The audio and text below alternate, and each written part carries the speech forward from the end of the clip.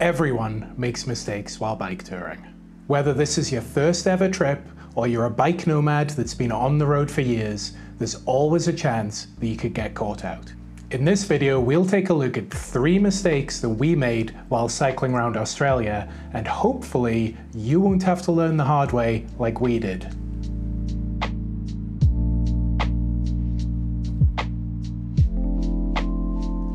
Before we get into this video, here's the usual reminder that if you're into bike touring or bike packing, then maybe consider hitting the subscribe button.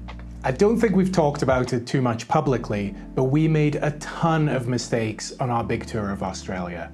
Now, a lot of these mistakes are the same mistakes everyone makes.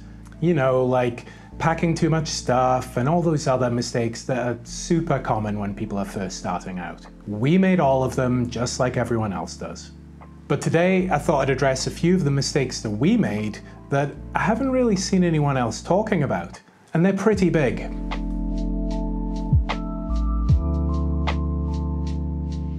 So I heard a phrase recently that I think really sums up this point well. Too much planning gets in the way of what might happen naturally. And that is definitely our experience. All of our most memorable bike touring experiences were the unexpected ones. We would be bumbling along with no idea where we were going to camp that night, and a friendly stranger would appear and offer us a bed for the night. Or we would stumble across the most amazing campsite completely by accident. Or we'd pop into a pub to shelter from the rain for a little bit, and next thing you know, we're camping in the beer garden. None of these things would have happened if we had something planned. Now, sometimes plans are important, if you're about to head to a really remote area, you should probably plan for water refills and maybe how much food you're going to carry with you. But there were times when we had everything planned out. Monday we'll go here, Tuesday we'll camp here, Wednesday we'll go there. And everything worked out just fine. But that's not much of an adventure.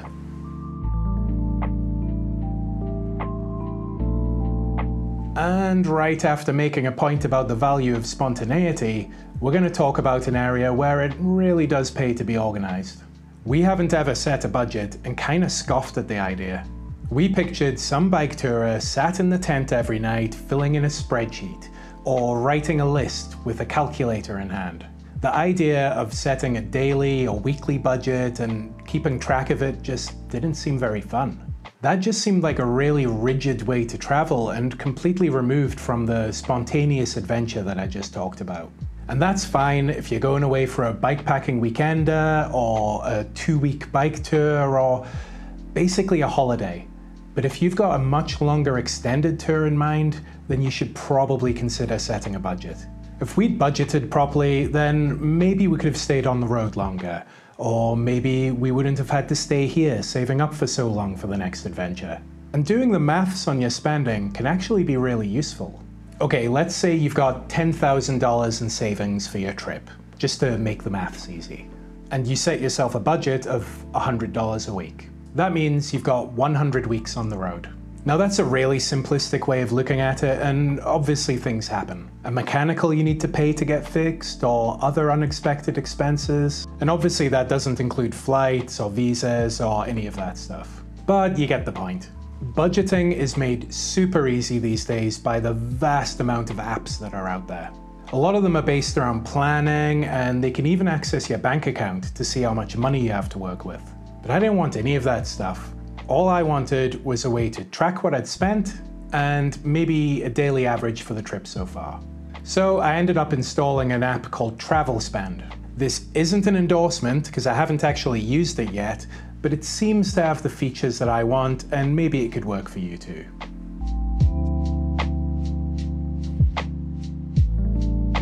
On our last tour, it got to the point where it felt like we were constantly rushing it just felt like we could never really take our time, and oftentimes we left before really getting to enjoy a place.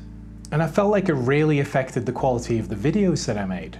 They could have been so much better if I'd taken my time when I was filming a location. Composed shots, set up tripods, really take the time to be creative with what I was doing rather than just run and gun, get the shots and go.